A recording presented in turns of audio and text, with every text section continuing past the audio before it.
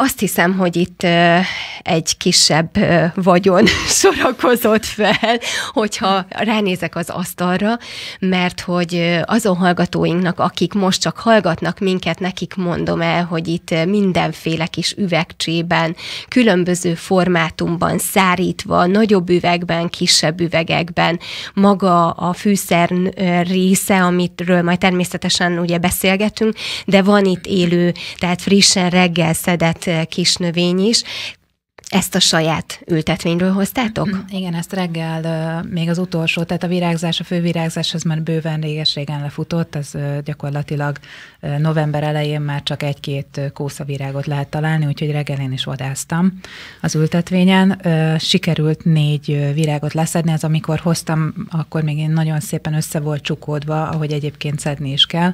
Mostanra szépen szétnyílt, úgyhogy a hat szép szírom, az gyakorlatilag itt már teljes pompájában. Gyönyörű, szép, és remélem, hogy majd alakítgatjuk egyébként a kamera felvételeket is, és hogy lát, láthassák majd azok is, akik esetleg megnézik a YouTube Igen, csatornán van. hallgatóink közül ezt a gyönyörű szép növényt, amit egyébként termesztetek, tehát ez ültetett formában, és nem szabadon kell ki, hanem ezzel foglalkozni kell miről is szól ez a, ez a tevékenység, hogyan képzeljük ezt el, mekkora területen, milyen mennyiség? Igen, egy hagymagumos növényről beszélünk egyébként, eredendően Kréta szigetéről származnak ezek a növények, és hát sok ezer éve a legrégebben termesztett fűszer egyébként a világon és hát sok ezer éve ez meddővé vált, és csak gyakorlatilag tőszaporítással tud szaporodni. És hát Úrhidán, az Úrhidai Sáfrány és Gyümölcs Múzeumban 190 féle régi szerb és magyar gyümölcsfafajta között termesztjük, most már ö, úgy tűnik, hogy Magyarország talán legnagyobb ö, tőszámú ültetvénye. Az érdekessége, hogy kazak-orosz rendszerben termesztünk, tehát egy sűrített, ö, rátöltéses rendszerű, ö, sűrített tőszámú ö, rendszerben, úgy tudom itt Európában, mármint Európának ezen a részén nem nagyon ö, ezt általában a szíriai-iráni módszer alapján termesztenek mindenütt, tehát Spanyolországban, Olaszországban, Balkánon általában nem ezt a termesztési módot választják. Nálunk Úrhidán arra a talajspecifikumra, ami, ami, ami ott van, úgy, úgy vettük észre, hogy ez a legalkalmasabb, meg elég szélsőséges az időjárás, ami kedvez a minőségnek. Tehát csak felső kategóriájú sáfrányt termesztünk, és hát egy egyéni szárítási móddal, amit magyar szabványként szeretnénk egyébként elfogadtatni, sokkal magasabb hatóanyagtartalommal tudunk rendelkezni, és hőstabilabb, hosszabb ízlecsengésű terméket tudunk létrehozni. Tehát mi nem csatlakoztunk a szíriai rendszerű termesztésmódhoz, hanem egy önálló termesztési rendszert. Így a Magyar Sáfrány Szövetségnél ezt próbáltuk, illetve hát ezt belül a tagoknak már kötelező módon ezt használjuk. Minusz 21 fokról indítjuk a szárítást, és plusz 82-nél zárjuk a szárítást. Elég bonyolult egyébként, de röviden, hogyha van rá idő, akkor ismertetném. Azt kell tudni, hogy 83 fok fölött, plusz 83 Celsius fok fölött nagyjából a 240 féle értékes rákellenes hatóanyagokból elkezd kiégni 40 féle a termékből. És viszont azt is tudni kell, hogy nagyon rövid idő alatt, tehát egy fél óra alatt kell leszárítani magát a növényt, minél nagyobb hőmérséklet különbséggel. A legideálisabb a 101 fokos hőmérséklet különbség. Éppen ezért az irániak, a spanyolok és mindenhol a világban szabványosították a szárítási módot, hogy ők ugye a prémium, tehát hogyha felső gyógyszerészeti kategóriát állítanak elő, mint például mi is, abban az esetben nekik füst, tehát kis parázs fölött kell a, a felső kategóriás terméket szárítani, tehát vagy csonthéjas maghéjtöreten, vagy venyige parázson kéne szárítani. Ettől viszont ugye, mivel többször eléri a 100 fokot, eléri a 90 fokot, stb., kiégnek a hatóanyagok egy, kiég a hatóanyagok egy része, mi ezért azt csináljuk, hogy mi mínusz 21 fokról indítjuk a szárítást, és plusz 82-n zárjuk. Tehát megvan a 100 fokos hőmérséklet különbségünk de nem sérül a termék. Ugye egy nagyon gyors fagyasztási sokkal, tehát hogy kisméretű kristályok képződjenek csak a belsejébe, tehát ilyen kristályok, hogy ne degradálódjon a, a, a termék Innen indítjuk. Ezt próbáljuk szabványosítani egy nagyon egyszerű gyógynövényszárítóval. Igény esetén egyébként van olyan cég, akinek igény esetén ugye füst visszavezetéssel, tehát hideg füsttel történik, hogy füst aroma is menjen bele, de egy sokkal hőstabilabb terméket tudunk. Tehát sütőipari kísérleteket csináltunk a tavalyi évben Lepsényben, és ott forgókemencés rendszerben hát kiderült az, hogy ilyen mindenmentes kekszeknél ízstabil marad a termék, illetve hőstabil. Tehát felső gyógyszerészeti kategóriát tudunk gyártani egy hosszú ízlecsengéssel. Ez ami a különlegesség, és hát a szokástól ellentétben ez a termék képes arra, hogy nagy hőmérsékleten, akár fél órás főzésnél is megőrizze az ízét és a színét. Ámulattal ámulattal hallgatom, és, és az a fajta tudás, ami, ami gondolom, hogy a ti fejetekben van, és a kezetekben, és a gyakorlat, és minden, ami, ami körbeveszi a sáfrányt, az, az nem egyik pillanatról a másik pillanatra érkezett az életetekbe. Engem nagyon érdekelne, hogy hogyan fertőzött meg titeket, úgymond a sáfrány. Erre szoktam mondani, hogy az anyósom tehet mindenről. Igazából ő volt az, aki 50 éves lett, és azt mondta, hogy neki most már valami melegebb vidéken kell élni, és kiköltözött Spanyolországba, és ez hozta magával a spanyol barátokat, a spanyol konyhát, és ezzel ugye a sáfrányt is. És olyan mennyiségben kezdtük el fogyasztani, hogy már nem volt rentábilis megvásárolni, úgyhogy gondoltuk, akkor termeszteni is kellene, kipróbáltuk, hogy milyen ez, és aztán szépen így jöttek az információk, az ismeretek, az egyre több olyan szakmai tudás, és az egyre több olyan szakmai kapcsolat is, ami, ami mindig vitt előrébb és előrébb, és akkor így derült ki az is, hogy Magyarország a középkorban a három legnagyobb sáfránytermesztő közé tartozott, Igazából a szakácskönyveink is úgy kezdődtek a receptekkel, hogy végy egy csipet sáfrányt, egy kis gyömbért, és akkor utána tetszőlegesen variálva folytatódott a, a recept. De ugye a sáfrány elég bunkás növény, tehát mindig mondják, hogy az aranyárával vetekszik az ára, és ez így is van, és ez így is fog maradni, mert hogy képesíteni ezt nem lehet, ez egy nagyon pepecskézi munka, majd itt meg fogom mutatni, hogy hogyan is néz ez ki a gyakorlatban de, de igazából ez hozta magával ugye, hogy a, a szőlő kiszorította Magyarországról a szőlőtermesztés, meg ugye a piros paprika is háttérbe szorította, úgyhogy emiatt egyre kevesebben, és sajnos emiatt egyre kevesebben ismerik háziasszonyok a konyhában a felhasználását, pedig egy igen jó növény, egy nagyon-nagyon jó fűszernövény, és nagyon széles körülön lehet hasznosítani, a húsoktól, mártásokon át, a koktélokig, tehát nagyon-nagyon sokszínűen lehet, tényleg csak a fantázia az, ami határt szab neki, illetve hát vannak olyan ö, egyéb fűszerek, amiket felemel, és nagyon jól alátámasztja az ízüket, ilyen vanília, a citrusfélék, a kardamom, és akkor vannak olyanok, amivel viszont ö, harcban áll, vagy, vagy teljesen elnyomja, és olyan, mintha soha nem is lett volna az étel környékén sem, vagy pedig, mint mint nekem a paprika, aminek egyszerűen annyira nem jól működnek együtt, hogy kár erőltetni a kettőt egy ételben. Ezek a fajta tapasztalatok, akár az, hogy mivel passzol mely ételhez, ezt gondolom, hogy hosszú évtizedek, évszázadok eredményei, és hosszú évtizedek, évszázadok tapasztalatait tudjátok átadni. Át is adjátok egyébként azoknak az embereknek, akik kíváncsiak? Tehát, hogy nem csak ez a fajta tevékenység a mindennapotok része, hanem terjeszteni is szeretnétek, úgymond népszerűsíteni is szeretnétek a sáfrányt? Így van, meg zajlik is ilyen, ilyen jellegű oktatás, szabad így mondani. Viszont van ennek szakirodalma is, tehát a régi időszakokban. De egyébként, ha megnézzük mondjuk a keleti konyhát, vagy megnézzük, a, ugye ott is a négy elem szimbolika alapján osztályozták, vagy megnézzük, mint gyógynövényt, mondjuk Avicsennának, vagy lehet, hogy Ibn Sinának ismerik jobban, ugye a 900-as években volt egy Kánon nevű ötkötetes kódexe vagy műve, amiben ugye a gyógynövényekkel foglalkozott.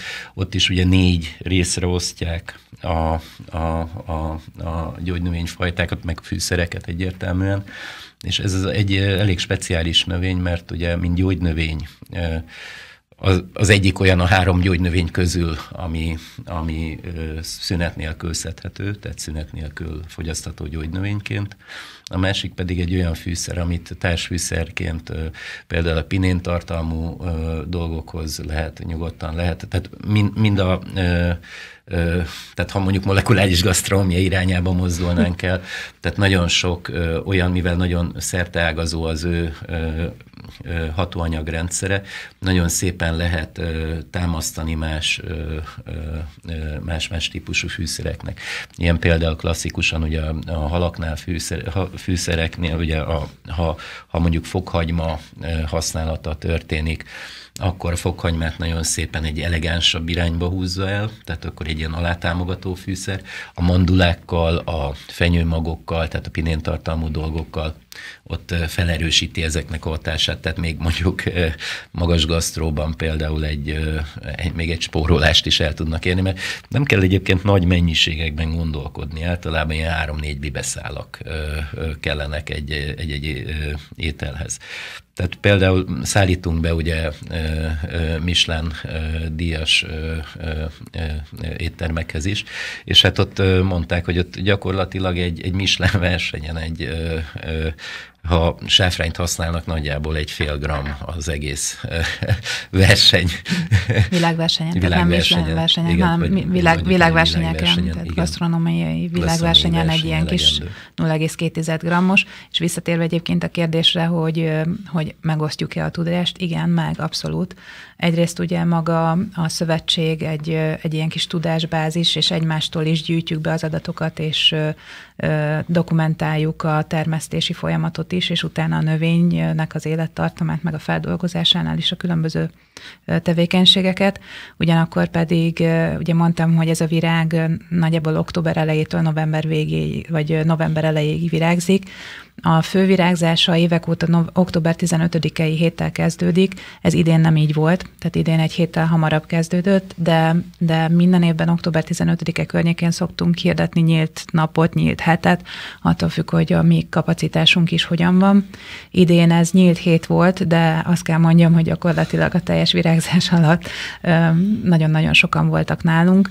Van arra is lehetőség, hogy valaki eljön, kipróbálja, megnézi. Volt, aki nálunk volt egy hetet, volt, aki csak két napot, volt, aki egy órát, volt, aki hosszabb ideig. Tehát, hogy meg lehet nézni, meg lehet próbálni, meg lehet hallgatni. A Léned rendkívül sok információt ad át, miközben azért a saját tevékenységünket is csináljuk, tehát egy elég jó betekintést engedünk abba, hogy hogyan működik a sáfránytermesztés és feldolgozás. Neked folyamatosan növekszik ugye a szövetség. Ugye a célunk az, hogy visszakerüljön Magyarország a sáfránytermesztő, prémium sáfránytermesztés térképére, mert ugye egy elég szigorú szabályról indítottuk a Magyar Szövetséget, mivel újra fel tudjuk a területet építeni, ezért fölösleges lenne alsó kategóriákban. Tehát a, ugye a világtermelésének 99%-át Irán adja és utána jönnek a spanyolok, stb. Tehát a különböző olyan országok, akik mennyiségben még futottak kategória,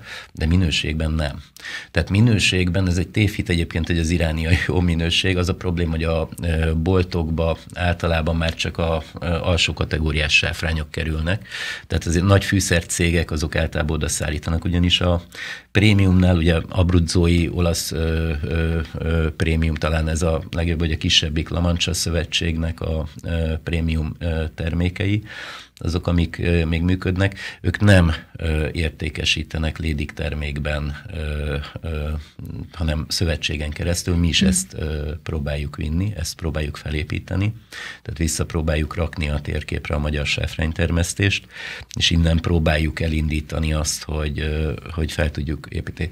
Alsó kategóriás termékeket nem készítünk, nem őrölünk termékeket, tehát csak gyógyszerészeti minőséget, meg hát figyelünk arra, hogy a, a klónok, amiket a szövetségen belül e, szaporítunk, azok Toledóból származzanak, tehát toledói e, klónokat, e, vagy gyógyszerészeti klón. Hosszabb a bibeszálluk, tehát még így utóvirágzásban is, ugye van egy nemzetközi izoszabványa a, a, a szállítható sáfránybibéknek. Ez a kettő és négy. Kettő és 2,2 a minimum cent, centiméter a minimum bibe hosszúság, amit még le lehetne szállítani.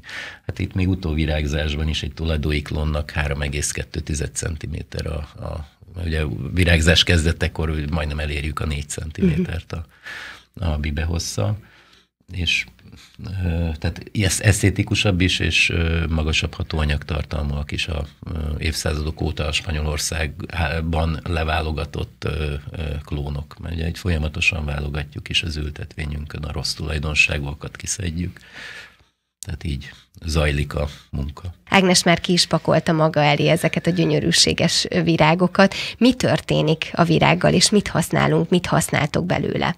Igazából ott kezdeném a dolgot, hogy nem lehet akármikor leszedni a virágot, mert akkor kell még leszedni, amikor zárva van. Ez gyönyörű szépen összecsukódik a szírmai teljes ilyen kis kupolába, és már le kell, hogy száradjon róla a reggeli nedvesség harmat, de nem szabad, hogy kinyíljon. Ennek azért van jelentősége, mert amikor kinyílik, akkor bár ugye ez egy őszi virágról beszélünk, október-november, de de az addig nem látott rovarok, bogarak, bármilyen időjárási körülmények is vannak, ők előjönnek, ugyanis nagyon intenzív az illata a sáfránynak, és előcsalogatja őket, és a kis lábikójukkal szépen összejárják a porzóról a bibét, és ezzel az értékét nem mondom, hogy rontják, de, de összekoszolják, és ugye a, a szabványok alapján, és mi is arra törekszünk, hogy a, a saját szabványrendszerünk az szigorúbb legyen, mint a nemzetközi izó, vagy akár a lamancsai szabvány, ami az izónál szigorúbb, hogy idegen anyag, vagy akár a virágnak az egyéb részei a bibén kívül a lehető legkevesebb arányban legyenek benne a késztermékben. Ezért nagyon fontos, hogy így szedjük. Többféleképpen lehet leszedni magát a, a virágot. Amikor még úgy kevesebb virágzott, akkor így próbálkoztunk, játszottunk vele. Most már inkább a hatékonyság minél gyorsabban, minél többet elve működik. Vannak helyek, ahol most aki tud minket követni és látja, annak, annak meg tudom mutatni, hogy ilyen nagyon hosszú, ez szerintem ilyen 5-6 centis hosszúságú résszel szedjük le. Ennek egy része még lila, mert ugye egy lila virágról beszélünk, lila után elkezd fehér lenni. Ezt, hogyha most szétszedem, ugye ezt, amikor leszettük a virágot, akkor mi ezt bevisszük, kiterítjük, és akkor gyönyörű szépen, ezt most itt nagyon diszkréten körömmel fogom szétszedni, szépen kinyílik a virág, és nagyon könnyű kiszedni, hát nagyon könnyű, relatíve könnyű kiszedni belőle a bibét, mert hogy csak ezt a részét... Gyakorlat benne van igen, a kezedben. Ezt a részét használjuk. Most uh, szétrancsírozom a virágot, de csak azért, hogy meg tudjam mutatni, hogy ez nagyon-nagyon hosszú ez a bibe szál. Ez ugyanis úgy néz ki, hogy van egy hosszú kis rész, ami három felé tagozódik, és ez a három felé tagozódott része, ez az értéke. Uh-huh. Itt már maga ez a virág, ez ugye utóvirágzásban már nem annyira intenzív, de ez itt teljesen normál fővirágzásban teljesen vörös, és itt az összenövés, vagy hát elágazás, attól függ, honnan nézzük. A hármas bibeszál után egy pici részen ott még gyönyörű szép narancsárga Utána viszont elkezd szépen citromsárga, fehér színre váltani. Ez a citromsárga, fehér rész, ez hatóanyagtartalomban, aromában nem sokat tud.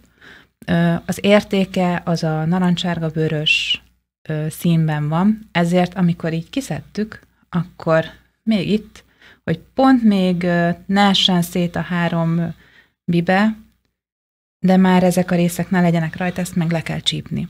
És akkor itt tartunk ott, hogy akkor meg vagyunk, hogy egy virágból kiszedtük a bibét, amikor ez megvan, akkor utána ezt leszárítjuk. Itt a szárításról Lénár már beszélt, hogy az sem egy olyan egyszerű művelet, de amikor készen van a szárítás, akkor én most hoztam olyanokat, amik már le vannak válogatva, és ami még nincs leválogatva, ő még nincs leválogatva, ő már le van válogatva. Ez mit jelent? Ez azt jelenti, hogy amikor megszáradt, akkor utána még én kis csipesszel, nagyítóval, minden egyébbel, éles szemmel, akinek van, azt szépen átnézzük, ugyanis a virág maradék, tehát a, ezeken a virágokon ilyen kis fehér hártyák vannak, azok csukják össze így ilyen szépre a virágot, az hajlamosak vagyunk véletlenül beleszedni, beleszáll, ö, sziromdarab, kispöcök, bármi. Bár, a, rovarok, ugye, bogarak, ők jönnek, mennek, előszeretettel beülnek a szárítóra is, tehát azokat úgy szépen el kell távolítani mindent.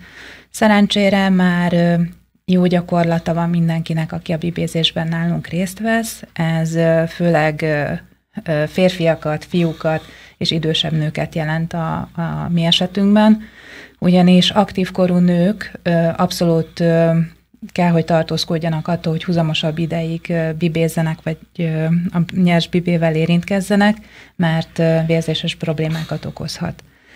Ez már idősebb nőknél, férfiaknál ugye abszolút nem jelentkező probléma.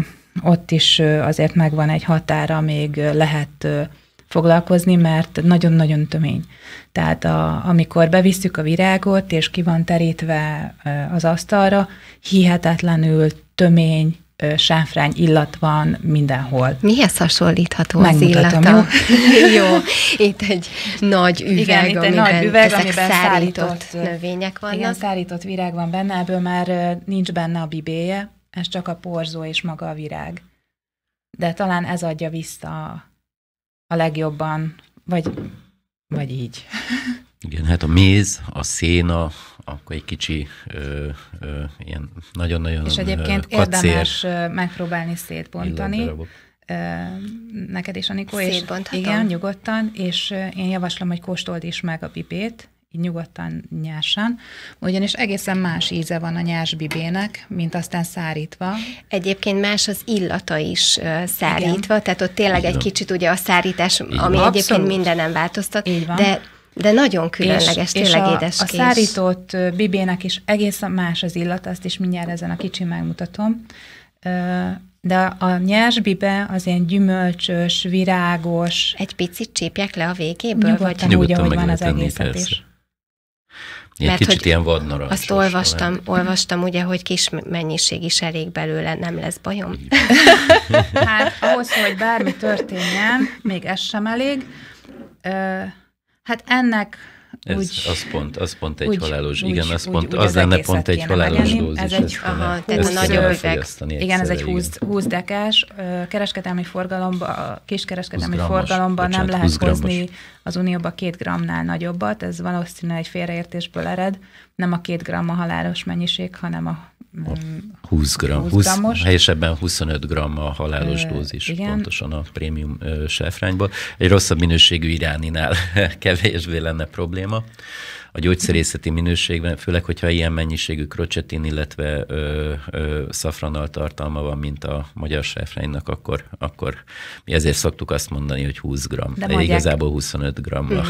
Mondják erre, hogy vidám halál, ugyanis a, a szedése is egy rendkívül kellemes, és a bibézése is egy rendkívül kellemes elfoglaltság, ugyanis van benne egyfajta ilyen boldogsághormonokat felszabadító, kicsit euforikus állapotba juttató hatása, tehát depresszió ellen kiváló egyébként, és én szoktam mondani, hogy ezek a bibézések nagyon jól összehozzák a társaságot, kicsit olyan, mint a régi, ilyen, nem tudom, kukoricamorzsolás, meg, meg talán toltépést mondott a Dédi mama legutóbb, hogy ez annyira klassz, mert hogy előjönnek a családi, baráti történetek, és akkor ezt így végig lehet beszélgetni. De, de mondom még egyszer, tehát gyakorlatilag ez az oka annak, hogy ezt a folyamatot ugye így a bibézéssel végig kell vinni, és utána le kell válogatni még a, a szárított bibét is, hogy nagyon macerás és hosszú idő, tehát azért mire egy kilós ánfrányt valaki előállít, az rengeteg órába telik. 500 munkaóra egy kilogramnak, a, úgy számoltuk, hogy kazak rendszerben mindenképpen picivel fölötte van 500 munkaóra egy kilogramnak az előállítása, és azért ez nagyon sok. Tehát, hogy képet lehessen kapni, egy nap egy átlagos bibéző, aki nem először bibéz, egy nap alatt értünk egy ilyen 5-6 órát, tehát nyilván ilyen 40 percenként ilyen 20 perces szünetekkel számol, vagy levegőzzön az illető. Nagyjából 3-4 ezer virágot tud nagy biztonsággal, prémium minőségben, max. 5 ezret kibibézni. Érthető Tehát, itt most már, hogy miért igen. is ennyire drága igen. a sárkány. És ez, ez csúcs, csúcsvirágzás idején azt jelenti, hogy egy ember az nem végez ezzel. Tehát uh-huh. itt azért többen kellünk, nálunk ilyen 5-6 ember szokott csúcsvirágzásban aktívan részt venni a munkafolyamatokban. Igen, és hát az, az okoz általában a problémát, ugyan egy hónapon keresztül virágzik minden nap, ugye szedjük, de a virágoknak általában ilyen 50-60 százaléka gyakorlatilag hat nap alatt a csúcsvirágzásban fut le. Hm. Főleg, hogyha olyan teli hold van, mert a teli hold ez meghúzza, a, tehát pont olyan időben, hogy ideális neki az időjárás is, akkor ez nagyobb arányban az alatt a hat nap alatt fog koncentrálódni, és olyankor azért meg kell szakadni, főleg úgy, hogy a magyar szabványként próbáljuk azt is bevezetni, hogy szedéstől a teljes szárítás, tehát végszárításig ne teljen el 12 óránál több. Uh-huh.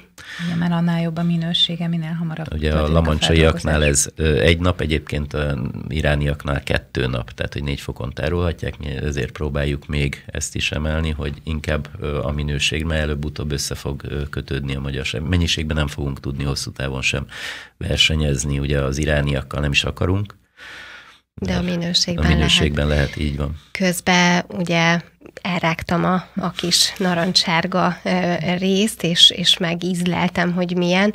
Egy kicsi kesernyés ízt is éreztem, de édeskés is volt, tehát hogy ilyen nagyon érdekes ízvilág került a számba. Viszont ha gyógynövényként beszélünk róla, akkor most például mit tettem magammal, hogy megettem ezt az egészen picike három szálat? Nyersen általában a gyomorpanaszokkal kapcsolatba hozható, illetve hát van egy nagyon erős gyulladás csökkentő hatása, ugye itt főleg a krocsin, a krocsetin, stb., illetve a, a szafranal tartalma, ami izgalmas. Nagyon, nagyon bizonyított orvosi vizsgálatok vannak arra, hogy antibiotikus hatással is rendelkezik maga a növény, itt a szárított fűszer erőteljesebben, mert ott tudnak olyan molekulaláncok kialakulni gyakorlatilag véroxigén növelést, tehát a vér oxigén felvételét képes szintén megnövelni a, a sáfrány, öngyilkosságra képes ugye késztetni azokat a sejteket, a, a benne lévő anyagok, a rákos sejteket. Erre is vannak nemzetközi orvosi Maga vizsgálatok. A gyógyszeripar is, használja. gyógyszeripar is használja. Hál' Istennek nem lehet szintetikusan előállítani azokat az anyagokat, amik ezt okozzák, tehát ezért van ez, hogy izgalmas.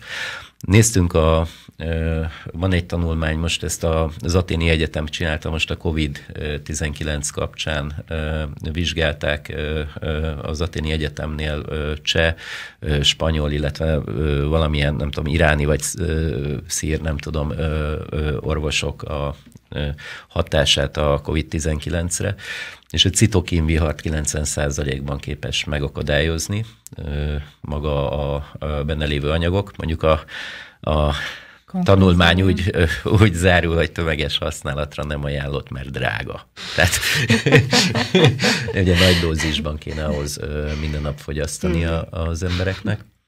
Használják egyébként ö, memóriajavításra is, tehát ö, ö, irániaknak vannak kísérleteik Alzheimer gyógyszerekre, használják, illetve középsúlyos viselkedési zavaros gyerekeknek a, a prozák helyettesítő, vagy prozák típusú helyettesítő gyógyszereknél. Ugye itt nincsenek olyan mellékhatások, hogy levertebb lenne, hogy tehát nagy dózisban fogyasztatják velük. Használják még egyébként magát ezt, ezt a, a növényt arra is, hogy az érzékszervek, tehát nagy dózisban fogyasztva az érzékszerveket és az összeszedettség állapotot időlegesen 3-4 órára nagyon nagy mértékben képes fókuszálni a, az illető anélkül, hogy utána a levertségérzet jelentkezne, de hát a fő hatása, amit évezredek óta használnak, ugye a férfiak, az egy nagyon erős potencia növelő hatás, illetve használták ö, ö, borral vegyítve, ugye 0,2, tehát prémiumból 0,2 gram egyszerre történő elfogyasztása borban higítva, vagy valamilyen alkoholban higítva, az férfiaknál gyakorlatilag egy kék gyógyszer helyettesítő eszközként tud méghozzá hosszú időkre. Tehát ez azért érdekes, mert hogy szívbetegeknek olyan nagyobb prob- tehát nem, nem okoz olyan nagyobb problémát, mint mondjuk egy, egy szintetikus, ö, szintetikus gyógyszer. gyógyszer. Így van, így van, tehát nem pörög túl a szíve. Ez alapvetően az ereket, meg hát van egy görcsoldó hatása, a menstruációs zavaroknál használják még nőknél. Jaj, bocsánat. Igen, meg közben nyitva hagyta az egyik. Igen. Miért baj az egyébként, ha nyitva marad? Mert visszaszívja a nedvességet. Nedvességet szív vissza a levegőből, és ez egy kicsit drága mulatság, és romolhat a minősége.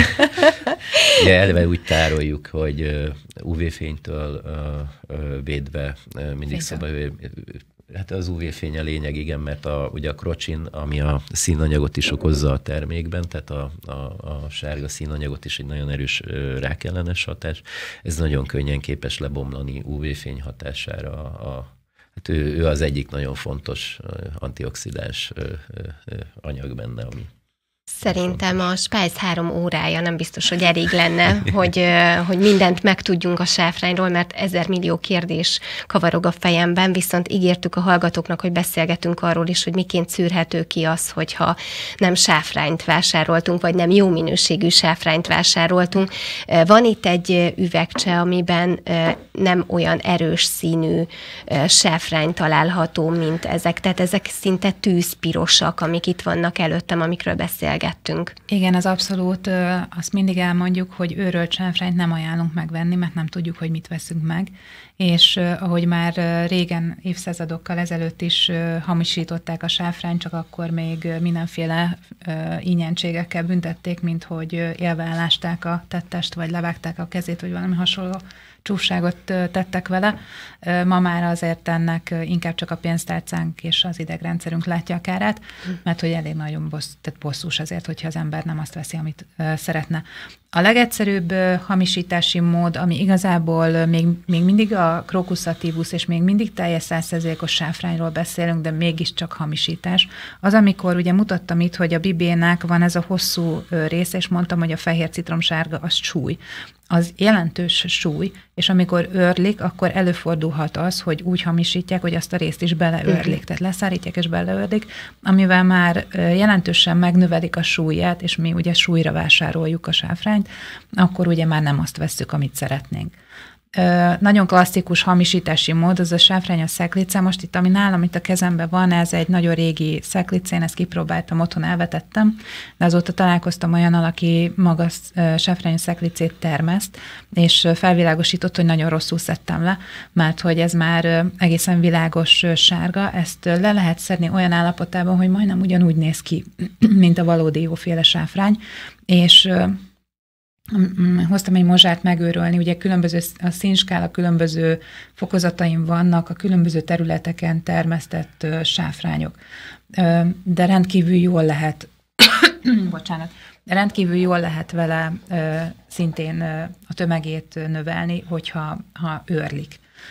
Hogyha bele keverik, akkor azért ki lehet szúrni, mert ez egy egészen más rendszerű virág, tehát itt semmi hármas beszáról nem beszélünk, ez egy, ez egy egészen más növény, tehát nem egy hagymagomos növény, hanem ezt magról is lehet szaporítani, szóval ezért egészen más történet. És akkor vannak a kifinomultabb módszerek is, amikor cukros oldatba, leginkább ilyen glükózos oldatba áztatják, és a súlyát növelik. És hát rákaramelizálják a külsejére a cukrot. A magyar ebből is jó, mert ez ellen például véd az a fajta szárítási mód, amivel mi szárítunk, illetve vannak a blendeléses vagy keveréses hamisítási módok. A spanyoloknál ugye ez az elterjedt, hogy megveszik az olcsó, rossz minőségű marokkóit, vagy rossz minőségű iráni terméket, vagy valahonnan a távol-keletről a, a, az olcsón megszerzett alsó kategóriást, és belekeverik gyakorlatilag a jobb minőségű sajátba ezeket a termékeket. Ez most a legelterjedtebb. Régebben csináltak olyat, hogy marhahús vagy lóhús szálakat szárítottak le, és ezekkel, ugye nagyobb a tömegük, de hasonló a, a színük ezeknek, ezeket kevertek vele, és hát vannak az elvetemültebbek, ez ugye általában iráni hamisítási mód, hogy műanyag szálakat, tehát ö, ö, műanyag textil ö, szálakat, ez pedig hát veszélyes is ugye az ember egészségére, tehát amellett, hogy guztustalan, amellett még, még káros is ugye a műanyag szennyezés. Egyébként nagyon fontos, mi, mivel új a, a szövetség, és hál' Istennek most építünk mindent, mi erre a fajta szennyezésre figyelünk a legerőteljesebben, tehát a mikroműanyag szennyezésekre, tehát nálunk a csomagolásnál is szabály az, hogy nem érintkezhet a termékünk, a termék előállítás semmilyen folyamatában nem érintkezhet műanyaggal a, a termék tehát hogy még véletlenül se történjen olyan jellegű ö, probléma. Tehát eleve azért van nálunk, hogy üvegbe ö, igyekszünk csomagolni, a, a termékünket. Nyilván papír az megengedetlen, de ugye a papírgyártásnál is vannak aggályok, most pont erről fogunk majd tanácskozni, hogy ezzel mi legyen. Tehát figyelni kell arra, hogy mivel érintkezik az az élelmiszer. Itt előttem is az asztalon különböző méretű üvegekben vannak különböző mennyiségű sáfrányok felsorakoztatva, és van ott két kis tálacska, amiben az egyikben tudom, hogy citromlé van, a másikban pedig sima víz. Ezt miért hoztad?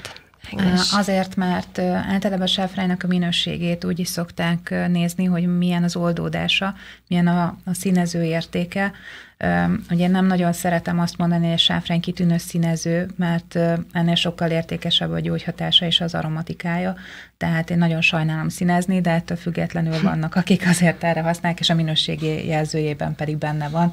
Itt ugye, amikor minőséget vizsgálnak, akkor minőségnél nézik a bibeszálat. Erről ugye már beszéltünk, hogy a, az izó szerint ugye két centinél nagyobbnak kell lenni, a lamancsainál ott például 2,2 centinél nagyobbnak kell lennie, vizsgálják azt, hogy milyen a, a, a szennyezettsége a terméknek, a készterméknek, hogy mennyi az idegen anyagtartalma, illetve mennyi a saját virág tartalma, ami mm, szinte meghatározott, viszonylag minimális és alacsony lehet, itt is ugye a lamancsai szigorúbb, és ugye a színező értéke is egy fontos kérdés. Na most itt, ami én elhoztam, ez pálinka ez egy semmi extra, ez talán egy borpárlat. Igen, borpárlat van. Még nincs teljesen kiázva, ez akkor lesz, ez hát mennyi is, egy két deci lehet talán, öt bibeszál van benne, ez akkor lesz készen, amikor a bibeszál teljesen fehér színűre ázik ki.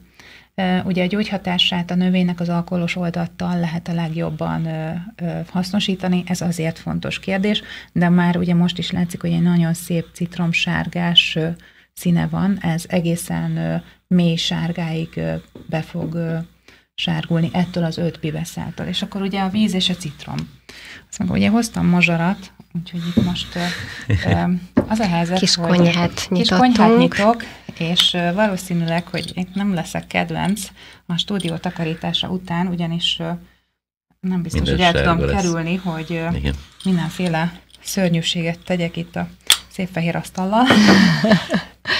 Szóval ezt most gyakorlatilag megőrlöm. A sáfránynak a leggazdaságosabb felhasználása a konyhában is az, amikor megőröljük, és valamiben feloldjuk, és úgy hasznosítjuk. Uh-huh. Ez a valamiben feloldjuk, ez lehet víz, citromlé, mint most jelen esetben, lehet olaj, abban azért nagyobb előkészületet igényel, mert hosszabb az idő, mire És hát gazdaságosabb felőrölni, hogyha a konyhasóban őröljük fel, vagy cukorral. Vagy cukorral. Így van. Uh-huh. De, most az ági de én, én nat, nat, natúr szoktam megőrölni, és utána vízbe teszem be, és akkor a vízzel együtt teszem be a hűtőbe, és az úgy egy tíz napig kényelmesen eláll, és akkor nem kell állandóan ezzel foglalatoskodnom. Na most megpróbálom úgy csinálni, hogy jó legyen megőrölt sáfrányból teszek egy picit a citromlébe is. És aztán a vízbe a is vízbe kerül is. egy pici. Itt tényleg nagyon pici mennyiségről beszélünk, tehát ilyen késhegynyi körülbelül került Igen, bele a két és üvegbe. És elkezdi szépen